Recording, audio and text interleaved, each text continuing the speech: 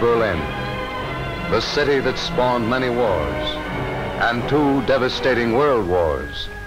The city of monuments. Yes, monuments to wars. Unhurt and undamaged in its previous wars, now ruined Berlin is all one monument.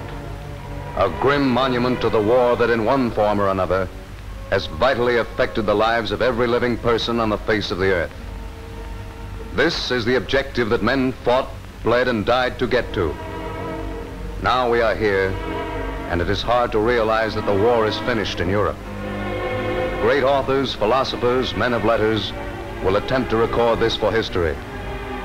Another qualified to tell the story is the foot-slogging soldier. He was there.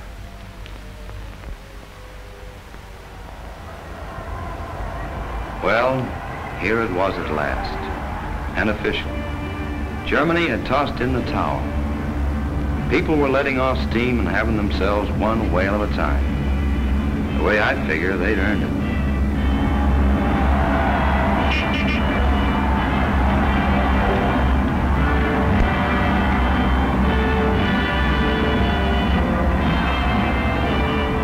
Standing on the corner and watching all the fun made me feel good.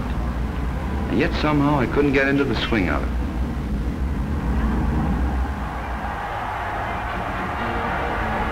I guess I felt mixed up inside. Kept thinking of all the things that had gone on before. All those months of training in the States. Training and, of course, marching. Seems like that went on all the time.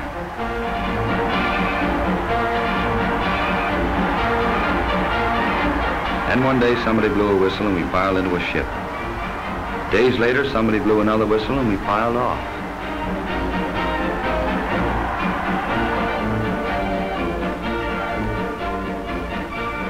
Then we were training and marching all over again. Only now it wasn't Louisiana or Missouri. It was England.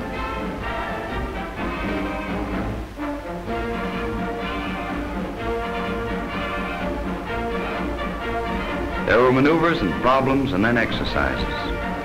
Funny thing about those exercises, you were always ready to bet that the latest one wouldn't be an exercise at all, that it would turn out to be the real thing. Company clerk heard it from the mess sergeant who had it straight from the colonel's driver. Yes, this time it would be the real thing.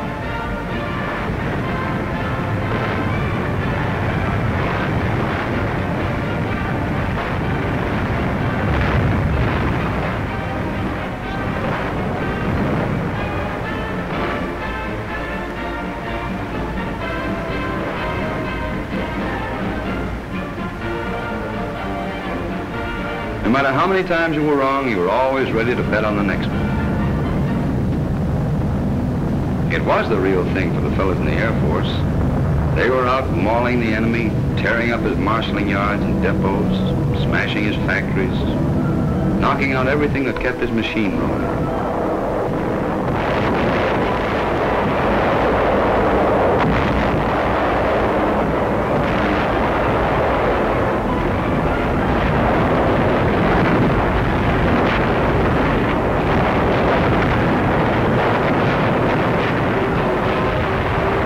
Luftwaffe and ground batteries used to hit back. The Air Force kept right on dishing it out to them.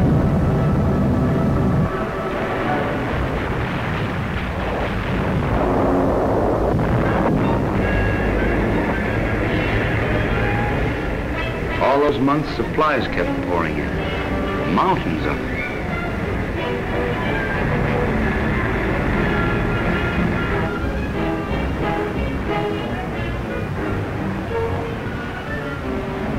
The English used to kid us about it and say their little island would break up and sink under all that weight. Big stuff like locos and tanks. Little stuff, too, like rations and cartridges. Everything an army uses, from paper clips to planes.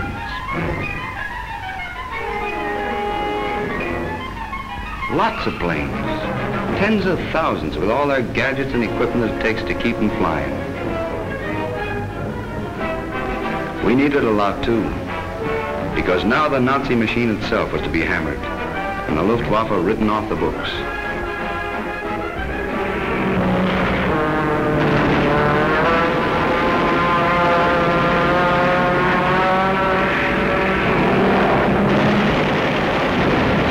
And communications ripped to bits.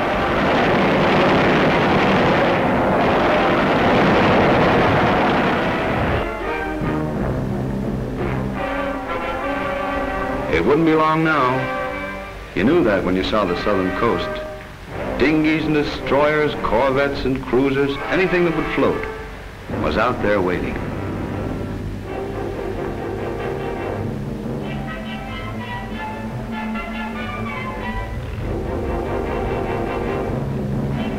This time when loading began, there wasn't any betting. Couldn't find any takers. This time it was the real thing.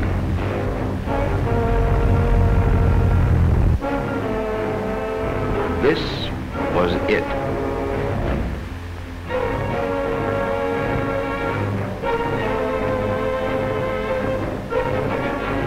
It felt good to be doing something after all that time hanging around the embarkation area. So good you didn't worry about what might happen next.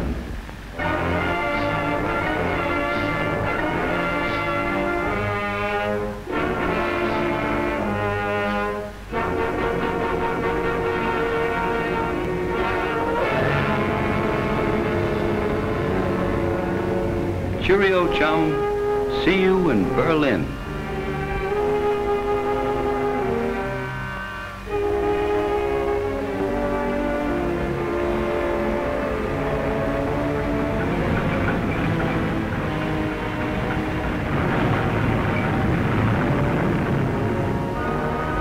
It was a tough job and complicated. Those Navy men sure knew how to handle it, but we hadn't seen anything yet.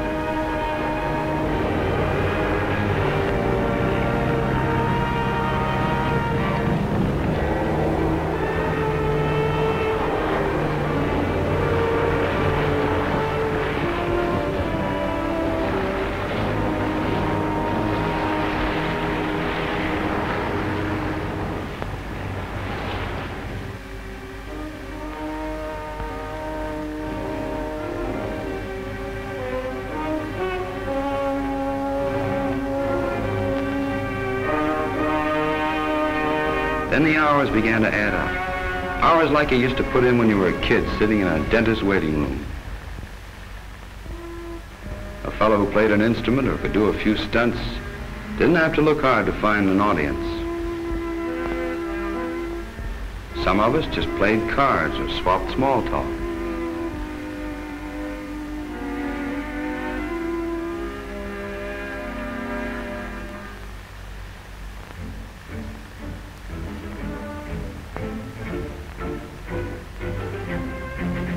There were eager beavers, too.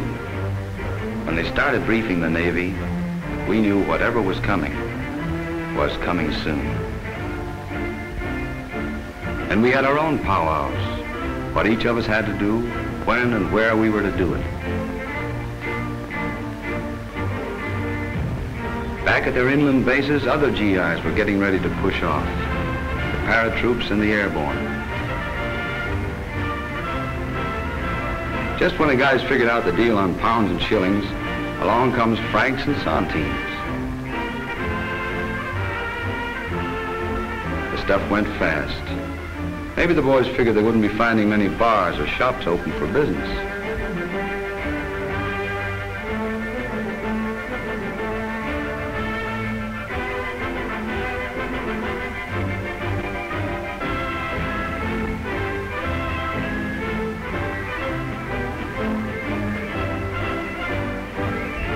Pretty soon, men began to drop out of the games.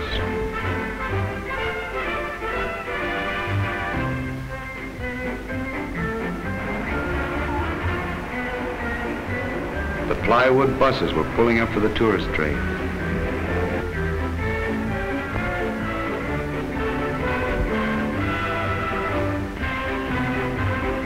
Then the big boss himself showed up.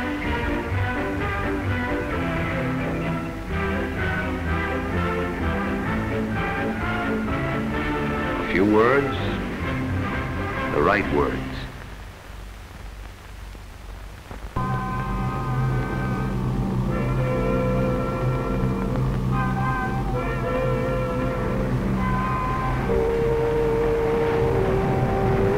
Out where we were lying more and more shipping was on the move. It looked like a traffic tangle to most of us, but then we were only landlubbers and wouldn't know.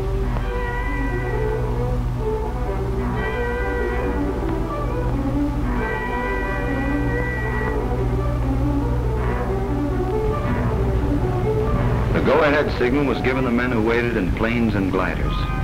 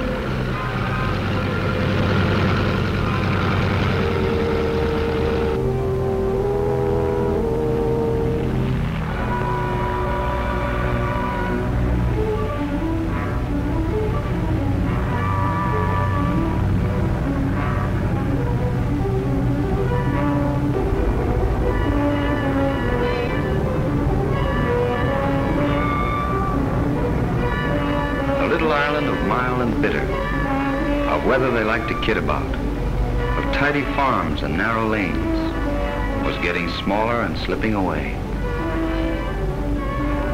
Then there wasn't any England at all. Only the channel far below, crisscrossed by our convoys.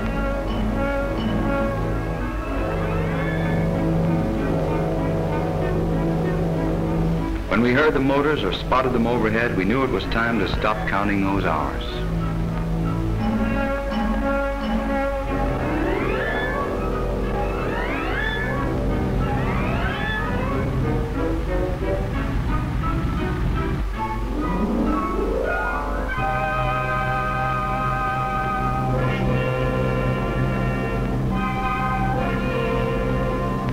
Somebody joked about unleashing the dogs of war. There was nice courage in a cigarette. And in the air cover we'd all been hearing about and now could see for ourselves.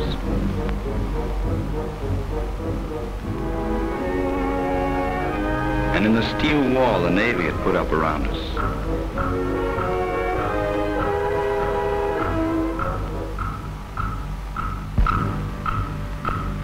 And in ourselves.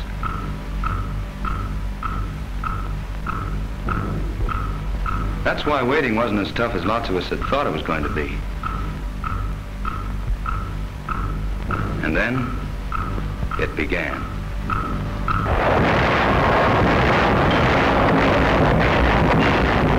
It was the Navy's show. But our own act was coming up.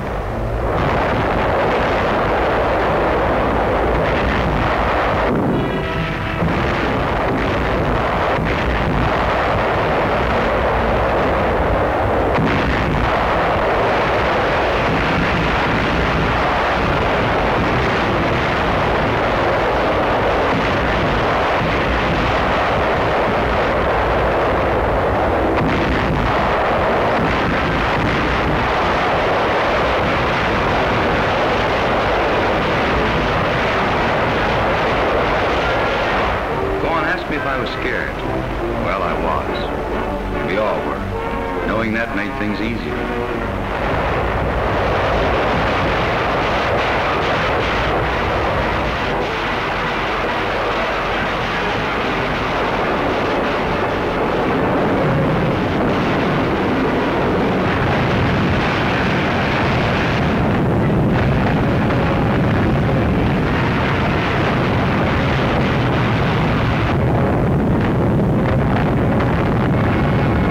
This was it. and We were all in it together.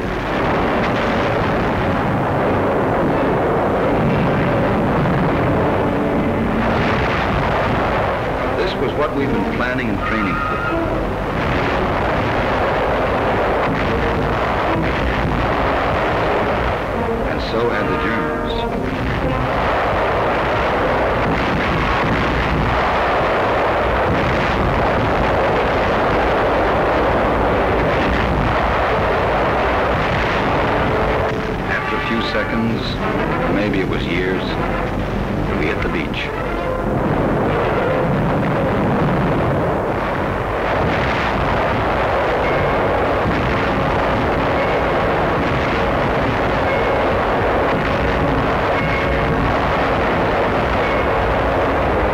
we were still in it together, those of us who made it.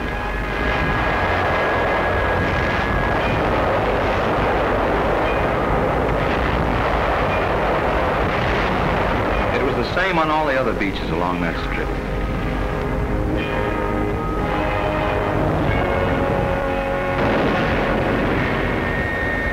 We'd proved something too. I mean to ourselves. Now we meant to hold on.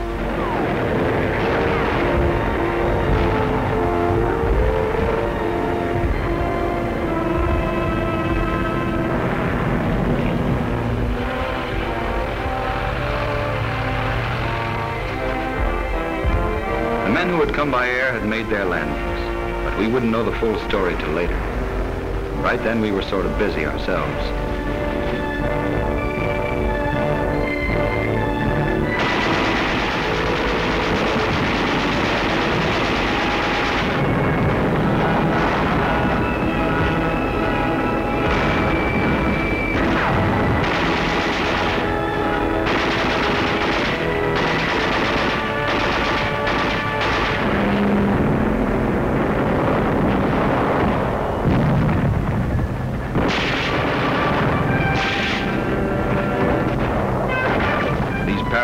Airborne had been hacking away at the enemy behind his lines. They'd taken their first prisoners before we landed and met up with their first friends. Taken their first trophies, too, we Yanks call souvenirs.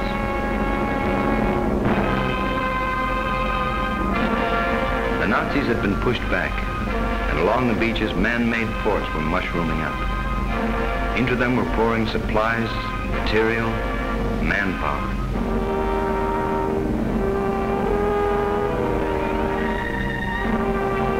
Out of them were streaming the men who used to sing, We Sail Against England. They were heading for England, all right, but nobody was singing. Our own men kept coming ashore, reinforcements for those who were pushing on, replacements for those who couldn't.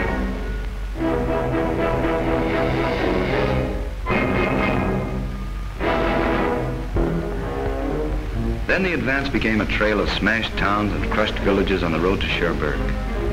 The enemy knew we'd need a real port to take the place of the sand strip landings. We'd have to blast them out, and that's what we did.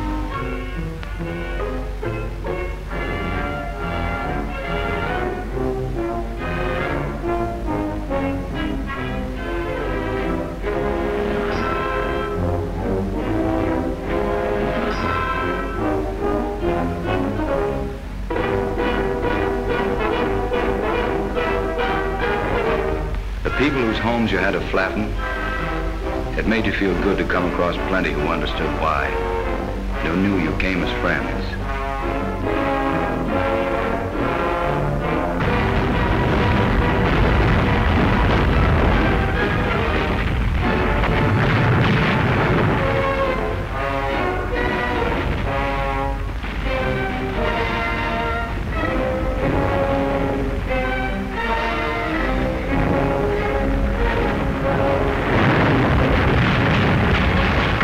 Kind of warfare called street fighting, and there were scraps in the open.